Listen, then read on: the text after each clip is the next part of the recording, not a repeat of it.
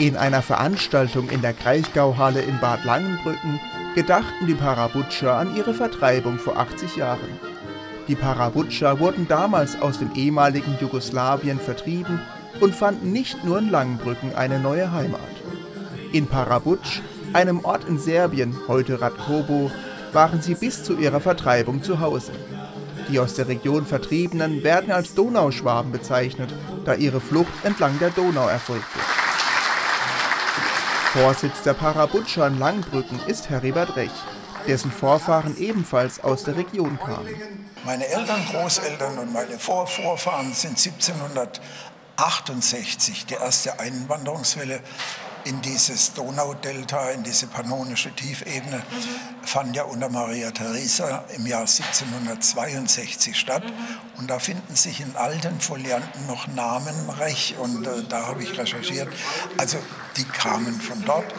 Ich selber bin aber hier geboren 1950. Dass man hier Tradition pflegt, ist augenscheinlich. Gleichwohl sind die Parabutscher keineswegs rückwärtsgewandt, sondern weltoffen und friedliebende Menschen die sich hier in ihrer neuen Heimat stets engagiert eingebracht haben. Diese Leute, wo ich kennengelernt habe, wo hier was aufgebaut haben, Arbeits, arbeitsreich, egal was, hilfreich. Ich habe Leute kennengelernt hier, äh, Resi, Donstädter, egal, oder viele Namen könnte ich sagen. Etwas Schöneres gibt es nicht. Ja. In einer Halle gefüllt mit freundlichen Menschen lebten die Parabutsche an diesem Tag ihre Tradition. Aber es gab auch Gelegenheit, mit Zeitzeugen zu sprechen, die auf Flucht und Vertreibung aus eigener Erfahrung blicken konnten. Wie beispielsweise die 91-jährige Apollonia Rahn. Es war schon hart alles. Ne? Ich meine, wir Kinder haben das vielleicht nicht so empfunden. Wir haben aber nicht alles so kennt, wie was man heute kennt. Mhm. Ne? Und mir aber nie gedacht, dass man noch mal so alles kriegt, was wir jetzt haben. Mhm. Und beeindruckend, wie die Kinder und Enkel ihre Eltern und Großeltern begleitet haben, um ihnen diese große Freude einer Begegnung zu ermöglichen. Du warst ja 14 Jahre alt, das wollte sie wissen. Nicht was Zeit für eine Familie hast, sondern damals. Damals? Ja.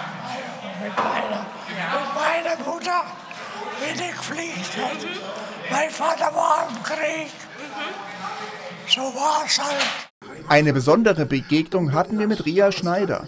Ihre Mutter Annemarie Ackermann war eine der ersten weiblichen Bundestagsabgeordneten unter Konrad Adenauer und repräsentierte erstmals auch die Donauschwaben im Bundestag. Sie ist die erste Vertretung gewesen. Wie war das dann für Sie als Tochter? Hart, ja. Ich war damals äh, 17, ja, habe noch drei kleinere Geschwister gehabt. Wir waren erst seit einem Jahr in Deutschland hatten noch gar nicht die Staatsbürgerschaft. Also es war alles so, so un unwahrscheinlich und, und, und unerklärlich. Ja. Sie stand auf der Liste, wo die Liste für die, für die Kandidaten gemacht wurde. Ja. Da stand sie an zehnter Stelle und da haben die Leute, wie das beschlossen wurde, haben gesagt, ach ja, an zehnter Stelle, da können wir auch mal eine Frau nehmen. Ja. Sonst waren es ja lauter Männer. Ja. Können wir noch eine Frau nehmen. Äh, also sie ist katholisch, sie ist verheiratet, äh, sie ist Flüchtling. Also nehmen wir die. Und haben nicht damit gerechnet, dass der Adenauer damals so großen Wahlerfolg gehabt hat. Ja. ja. dann ist sie reingerutscht und hat gesagt, ja, was ist jetzt los? Am nächsten Tag, als die Reporter vor der Tür standen, ich bin ja keine Politikerin, ich bin ja nur eine einfache Hausfrau, hat sie gesagt. Aber sie hat ganz schnell lernen müssen, ja.